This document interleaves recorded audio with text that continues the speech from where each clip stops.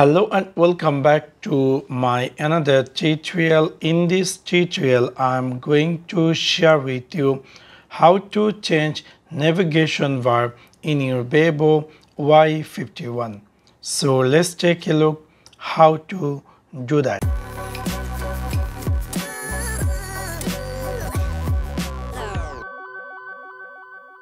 You might be recently buy this Vivo Y51 and you might be jump over from different brand phone.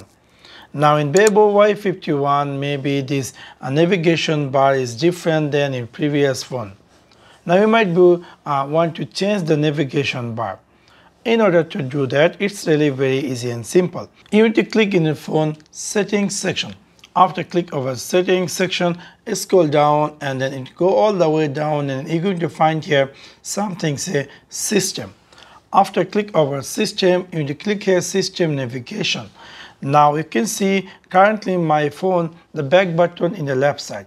If i make this my phone back button going to be right side and the option button going to be appear in the left side. If i go back you can see previously my phone back button was left side and option button was right side. Now it's completely changed. So within this we can easily change navigation bar in your Vivo Y51 now let me make the default one that is before it is. We're going to click here setting scroll all the way down click here system and then click here system navigation and then make the default one.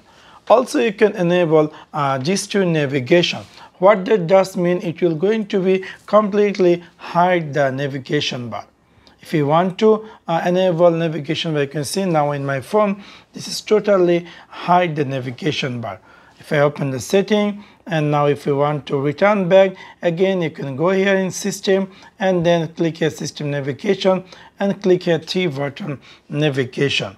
So within this you can easily customize navigation bar in your Vivo Y51 so that's for now.